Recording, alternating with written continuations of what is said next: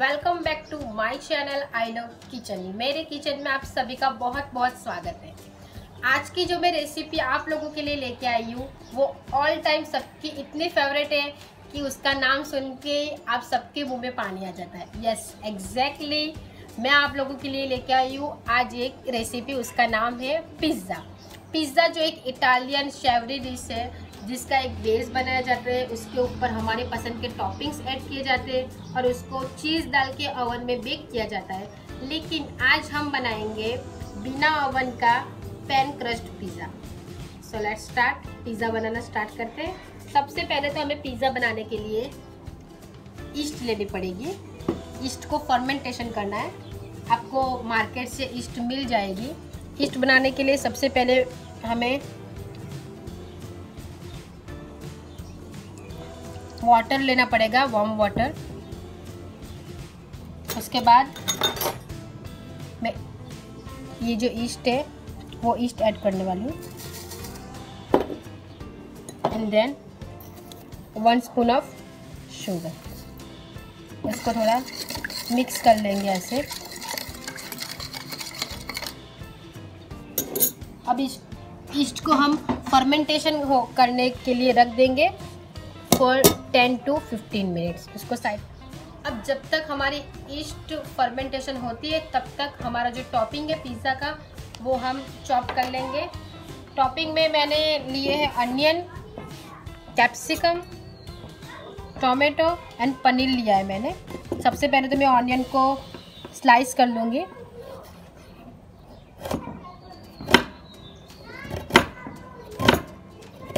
आपको और भी वेजिटेबल्स चाहिए, जैसे कि मशरूम हो गए, ब्रोकली हो गए, रेड बेल पेपर हो गए, येलो बेल पेपर हो गए, उसके हिसाब से आप ऐड करके आपकी मनपसंद पिज़्ज़ा के टॉपिंग बना सकते हैं। अभी मार्केट में जैसे लॉकडाउन चल रहा है तो मुझे तो नहीं मिले मशरूम और ब्रोकली। अगर शायद आपको मिल जाए तो।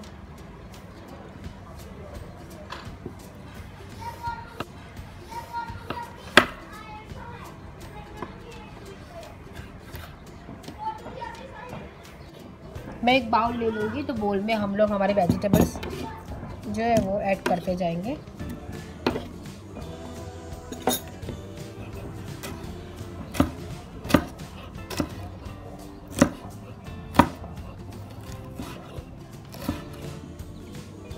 पनीर पिज़्ज़ा बनाएँगे आज। ऐसे छोटे छोटे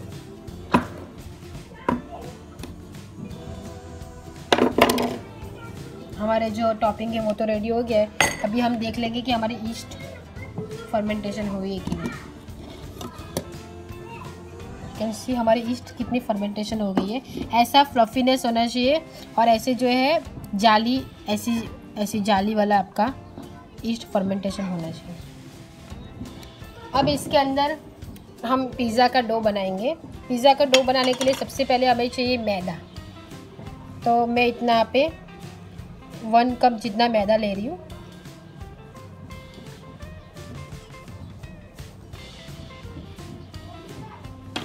उसके बाद हम ऐड करेंगे इसमें salt two tablespoon of oil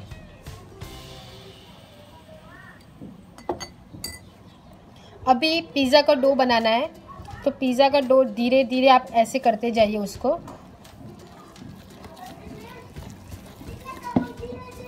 थोड़ा मैदा ऐड करेंगे।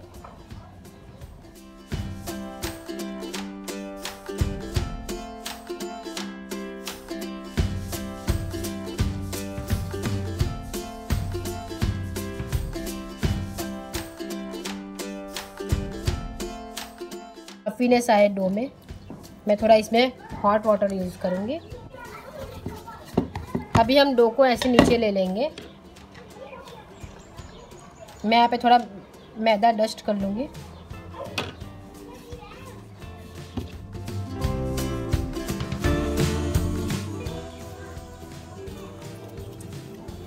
आपको ऐसे कर लेना है डो को।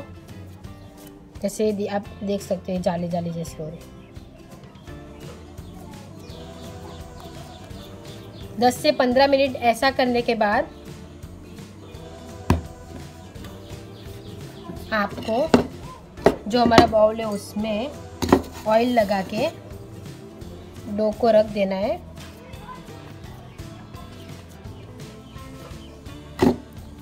उस डो के ऊपर भी हम ऑयल लगा लेंगे ऐसे। और उसको ऐसा जो आपके पास कोई कपड़ा होगा, मलमल का, उससे ढक देना है, ताकि उसमें हवा ना आ जाए। ऐसे करके उसके ऊपर हम हम प्लेट रख देंगे। अब हमें इसको 45 मिनट्स के लिए रेस्ट देना है, ताकि हमारा डो राइस हो जाए और सॉफ्ट हो जाए।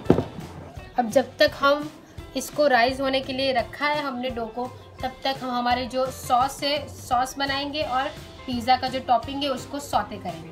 सो लेट्स स्टार्ट मैंने गैस चालू करके ऐसे पैन रख दिया यहाँ पे। अब पैन में हम डालेंगे वन टीस्पून जितना ऑयल जैसे ऑयल थोड़ा हल्का सा गर्म हो जाए, तब उसमें हम, हमारे जो टॉपिंग हमने रेडी किए ऑनियन कैप्सिकम वो सारी ऐड कर लेंगे। इसको इतना नहीं पकाना है हमें, इसको हम थोड़ा ही पकाएँगे, क्योंकि ये ओवन में तो जाने नहीं वाला है ना, इसीलिए। थोड़ा पैन पे सौते कर लेंगे और उसके बाद हम पिज़्ज़ा पे टॉपिंग डालेंगे, तब और पक जाएगा। इसमें मैं थोड़ा सॉल्ट ऐड करने वाली हूँ। लिटल बिट क्या पनीर, टोमेटो, कैप्सिकम, कितना कलरफुल लग रहा है। और इसकी सुगंध तो माय गॉड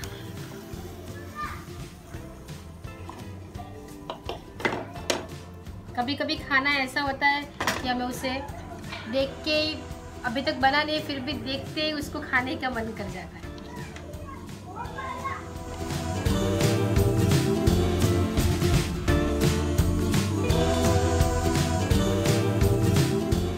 कर लेंगे, इसको निकाल लेंगे एक बाउल में। अब देख सकते हो कि कितना मस्त कलरफुल लग रहे हैं सारे। अब उसी पैन में जिसमें हमने वेजिटेबल सौते किया, उसमें ही हम लोग सॉस बना लेंगे। सॉस बनाने के लिए one tablespoon of oil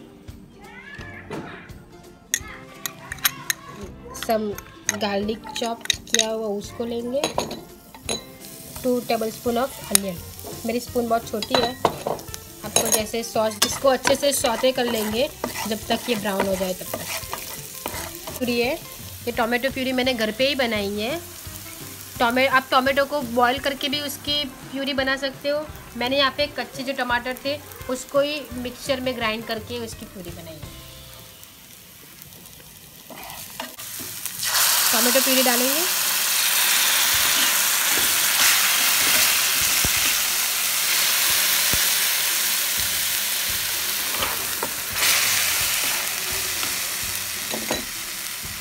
थोड़ा सॉल्ट ऐड करेंगे।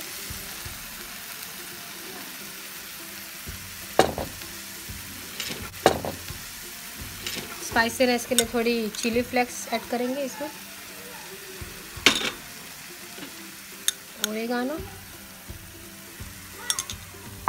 हम्म, आप देख सकते हो कि कैसे ये जो सॉस है वो ठीक हो गया है। अब गैस बंद कर लेंगे इसको निकाल देंगे एक बॉल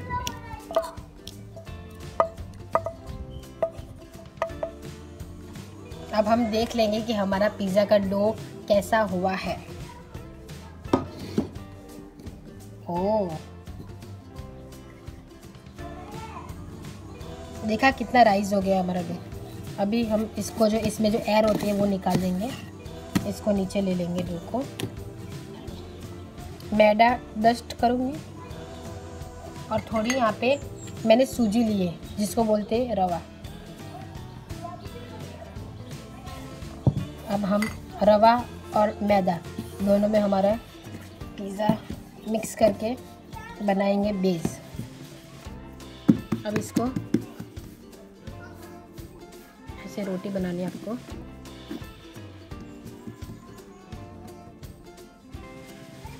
अगर आपको लग रहा है कि चिपक रहा है तो आप थोड़ा मैदा और ले सकते हो।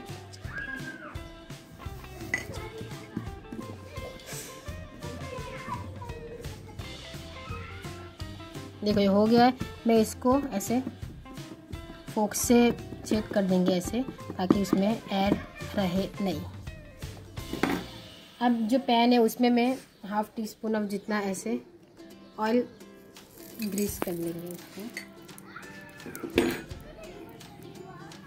जो हमारा बेस है, वो इसमें ऐसे डाल देंगे। और लो फ्लेम रखेंगे। इसको एक ही साइड पे होने देना है आपको। इसकी दूसरी साइड जो है, जैसे कि हमने नीचे वाला पार्ट रखा है, वो साइड अच्छे से पक जाए तो ये इसके ऊपर हम टॉपिंग करेंगे इसके लिए। इसको मैं ऐसे बंद कर दूँगी। आपको थोड़ी देर के बाद देखना है कि ये कैसे नीचे वाला जो पार्ट है, वो पका हुआ है कि नहीं। अब हम इसको निकाल देंगे इधर। ऐसे ये, ऐसे क्रिस्पी जैसा होना चाहिए। देख सकते हो आप। एक साइड का अभी ये हो गया है। अभी हमको नीचे की साइड को पकाना है, लेकिन टॉपिंग हम इसके ऊपर करेंगे। सो लेट्स स्टार्ट टॉपिंग ये हो गया है, अब हम इसके ऊपर जो सॉस बनाया था, वो स्प्रीड करेंगे।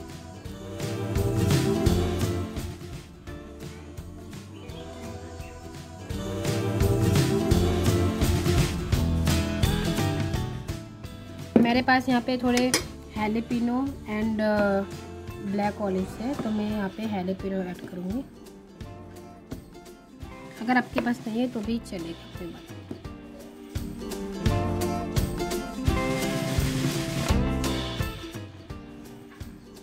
इतना भी चीज़ आप ऊपर से मत ऐड करना, क्योंकि जो हमारे जो टॉपिंग है, जो वेजिटेबल्स है, वो दिखेंगे नहीं फिर। पूरे चीज़ में छुप जाएँगे, फिर आपको उसको ढूंढना पड़ेगा, कहाँ है कहाँ है कहाँ है। अब मैं यहाँ पे जो मेरे पैन है, उसमें थोड़ा ऐसे तेल डाल दूँगी, ताकि हमारा जो पिज़्ज़ा बेस है, वो चिपक ना जाए। अब ये जो हो गया है, उसको मैं उठा के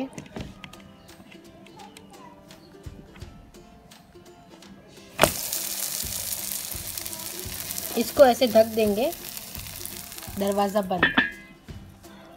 अभी ये दरवाज़ा खोलेगा पाँच मिनट के बाद तब तक के लिए लो फ्लेम पे रखना पिज़्ज़ा को।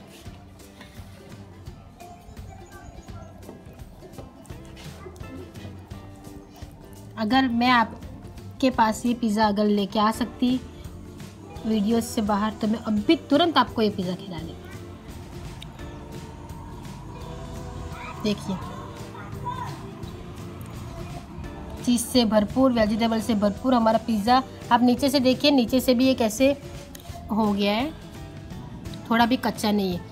पैन में भी ऐसे ही ओवन की तरह पिज़्ज़ा बना सकते हो। ऐसे ही easy quick and healthy recipes के लिए मुझे फॉलो करते रहे यूट्यूब पे। मैं ऐसी अच्छी अच्छी वीडियोस लेके आऊँगी आप लोगों के लिए। तब तक के लिए गुड बाय